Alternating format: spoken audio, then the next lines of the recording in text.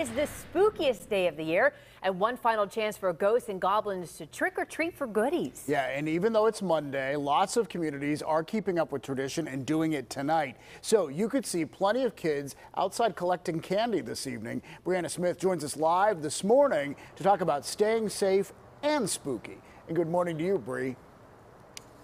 Good morning, David and Lindsay, and happy Halloween, everyone. Now, today, we all know it's about the decorations, the costumes, and of course, the candy. Now, before you head out for a fun night of trick or treating, keep these tips in mind. Experts say parents and kids should be vigilant as they walk throughout neighborhoods. It's also important to stay in large groups and use the sidewalks and crosswalks. When it comes to drivers on the road, slow down and be alert. Children are twice as likely to be struck and killed by a vehicle on Halloween than any other day of the year, according to Safe Kids Worldwide.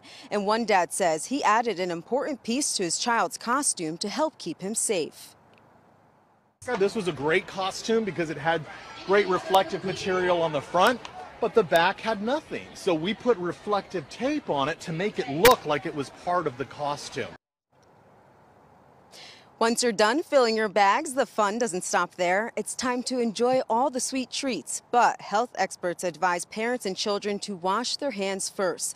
Then check the candy to make sure there are no opened wrappers, ingredients that can trigger an allergic reaction, or treats that pose any risk. Then, of course, when it comes time to eat the candy, try not to eat it all at once. Doctors advise children to eat less than 25 grams of sugar per day. So I know it's hard. It's Halloween. We want to eat it all, but this way, kids kids will have some treats for the rest of the week unless parents get to it first. Reporting live this morning, Brianna Smith, KDKA News.